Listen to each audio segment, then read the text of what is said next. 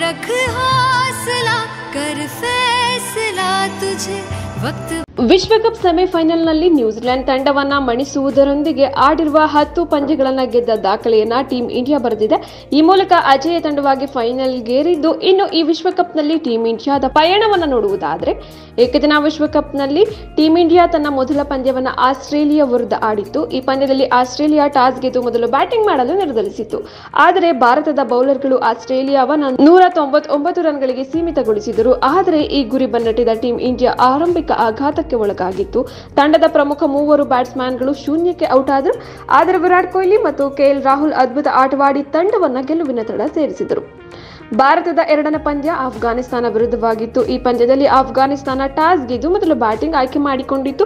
ಐವತ್ತು ಓವರ್ಗಳಲ್ಲಿ ಎಂಟು ವಿಕೆಟ್ ನಷ್ಟಕ್ಕೆ ಇನ್ನೂರ ಎಪ್ಪತ್ತೆರಡು ರನ್ ಗಳಿಸಿತು ಈ ಸವಾಲನ್ನ ಟೀಂ ಇಂಡಿಯಾ ಮೂವತ್ತೈದು ಓವರ್ಗಳಲ್ಲಿ ಎರಡು ವಿಕೆಟ್ ಕಳೆದುಕೊಂಡು ಪೂರ್ಣಗೊಳಿಸಿತು ಈ ಪಂದ್ಯದಲ್ಲಿ ರೋಹಿತ್ ಶರ್ಮಾ ಎಂಬತ್ನಾಲ್ಕು ಎಸೆತಗಳಲ್ಲಿ ನೂರ ಮೂವತ್ತೊಂದು ರನ್ ಗಳಿಸಿದರು. ಮೂರನೇ ಪಂದ್ಯ ಪಾಕಿಸ್ತಾನದ ವಿರುದ್ಧವಾಗಿತ್ತು. ಈ ಪಂದ್ಯದಲ್ಲಿ ಭಾರತ ಟಾಸ್ ಗೆದ್ದು ಮೊದಲು ಬೌಲಿಂಗ್ ಮಾಡಿ ಪಾಕಿಸ್ತಾನವನ್ನ ನಲವತ್ತೆರಡು ಪಾಯಿಂಟ್ ಐದು ಓವರ್ಗಳಲ್ಲಿ ನೂರ ತೊಂಬತ್ತೊಂದು ರನ್ಗಳಿಗೆ ಆಲ್ಔಟ್ ಮಾಡಿತು ನೀಡಿದ ಸವಾಲನ್ನ ಟೀಂ ಇಂಡಿಯಾ ಮೂವತ್ತು ಪಾಯಿಂಟ್ ಮೂರು ಓವರ್ಗಳಲ್ಲಿ ಮೂರು ವಿಕೆಟ್ ಕಳೆದುಕೊಂಡು ಪೂರ್ಣಗೊಳಿಸಿತು ಇದರಲ್ಲಿ ರೋಹಿತ್ ಶರ್ಮಾ, ಶ್ರೇಯಸ್ ಅಯ್ಯರ್ ಉತ್ತಮವಾಗಿ ಆಡಿದರು. ನಾಲ್ಕನೇ ಪಂದ್ಯ ಬಾಂಗ್ಲಾದೇಶ ವಿರುದ್ಧವಾಗಿತ್ತು. ಟಾಸ್ ಗೆದ್ದ ಬಾಂಗ್ಲಾದೇಶ ಮೊದಲು ಬ್ಯಾಟಿಂಗ್ ಆಯ್ಕೆ ಮಾಡಿಕೊಂಡಿದ್ದು, ಬಾಂಗ್ಲಾದೇಶ ಐವತ್ತು ಓವರ್ಗಳಲ್ಲಿ ಎಂಟು ವಿಕೆಟ್ ನಷ್ಟಕ್ಕೆ ಇನ್ನೂರ ಐವತ್ತಾರು ರನ್ ಗಳಿಸಿತು ಈ ಸವಾಲನ್ನು ಭಾರತ ನಲವತ್ತೊಂದು ಪಾಯಿಂಟ್ ಮೂರು ಓವರ್ಗಳಲ್ಲಿ ಮೂರು ವಿಕೆಟ್ ಕಳೆದುಕೊಂಡು ಪೂರ್ಣಗೊಳಿಸಿತ್ತು. ತಂಡದ ಪರ ವಿರಾಟ್ ಕೊಹ್ಲಿ ಔಟ್ ಆಗದೆ ನೂರ ಮೂರು, ಶುಭ್ಮನ್ ಗಿಲ್ ಐವತ್ಮೂರು ಮತ್ತು ರೋಹಿತ್ ಶರ್ಮಾ ನಲವತ್ತೆಂಟು ರನ್ ಬಾರಿಸಿದರು. ಭಾರತದ ಐದನೇ ಪಂದ್ಯ ನ್ಯೂಜಿಲೆಂಡ್ ವಿರುದ್ಧವಾಗಿತ್ತು. ಈ ಪಂದ್ಯದಲ್ಲಿ ಭಾರತ ಟಾಸ್ ಗೆದ್ದು ಮೊದಲು ಬೌಲಿಂಗ್ ಮಾಡಲು ನಿರ್ಧರಿಸಿತು ಮೊದಲು ಬ್ಯಾಟ್ ಮಾಡಿದ ನ್ಯೂಜಿಲೆಂಡ್ ಐವತ್ತು ಓವರ್ಗಳಲ್ಲಿ ಇನ್ನೂರ ಎಪ್ಪತ್ಮೂರು ರನ್ ಕಲೆ ಹಾಕಿತ್ತು. ಈ ಸವಾಲನ್ನು ಟೀಂ ಇಂಡಿಯಾ ನಲವತ್ತೆಂಟು ಓವರ್ನಲ್ಲಿ ಆರು ವಿಕೆಟ್ ಕಳೆದುಕೊಂಡು ಪೂರ್ಣಗೊಳಿಸಿತು. ಇನ್ನು ಈ ಪಂದ್ಯದಲ್ಲಿ ವಿರಾಟ್ ಕೊಹ್ಲಿ ತೊಂಬತ್ತೈದು, ರೋಹಿತ್ ಶರ್ಮಾ ನಲವತ್ತಾರು ಮತ್ತು ರವೀಂದ್ರ ಜಡೇಜಾ ಮೂವತ್ತೊಂಬತ್ತು ರನ್ಗಳನ್ನು ಗಳಿಸಿದರು. ಭಾರತದ ಆರನೇ ಪಂದ್ಯ ಇಂಗ್ಲೆಂಡ್ ವಿರುದ್ಧವಾಗಿತ್ತು. ಟಾಸ್ ಗೆದ್ದ ಇಂಗ್ಲೆಂಡ್ ಮೊದಲು ಬೌಲಿಂಗ್ ಆಯ್ಕೆ ಮಾಡಿಕೊಂಡಿತ್ತು. ಭಾರತ ಐವತ್ತು ಓವರ್ಗಳಲ್ಲಿ ಒಂಬತ್ತು ವಿಕೆಟ್ ನಷ್ಟಕ್ಕೆ ಇನ್ನೂರ ಇಪ್ಪತ್ತೊಂಬತ್ತು ರನ್ ಗಳಿಸಿತು. ಆದರೆ ಇಂಗ್ಲೆಂಡ್ ತಂಡ ಮೂವತ್ನಾಲ್ಕು ಪಾಯಿಂಟ್ ಐದು ಓವರ್ಗಳಲ್ಲಿ ನೂರ ಇಪ್ಪತ್ತೊಂಬತ್ತು ರನ್ಗಳಿಗೆ ಆಲ್ಔಟ್ ಆಯಿತು.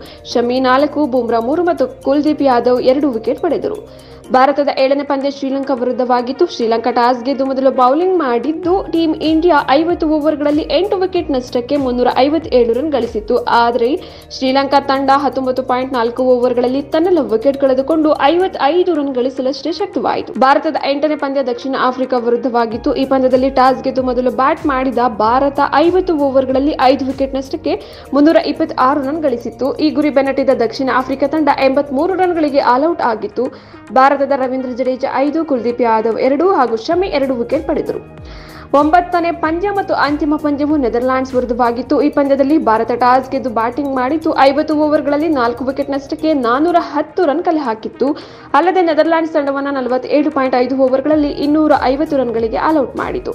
ಸೆಮಿಫೈನಲ್ನಲ್ಲಿ ಭಾರತ ನ್ಯೂಜಿಲೆಂಡ್ ವಿರುದ್ಧ ಆಡಿತು. ಈ ಪಂದ್ಯದಲ್ಲಿ ಭಾರತ ಟಾಸ್ ಗೆದ್ದು ಮೊದಲು ಬ್ಯಾಟಿಂಗ್ ಮಾಡಿತ್ತು ಐವತ್ತು ಓವರ್ಗಳಲ್ಲಿ ನಾಲ್ಕು ವಿಕೆಟ್ ನಷ್ಟಕ್ಕೆ ಮುನ್ನೂರ ತೊಂಬತ್ತೇಳು ರನ್ ಗಳಿಸಿತು.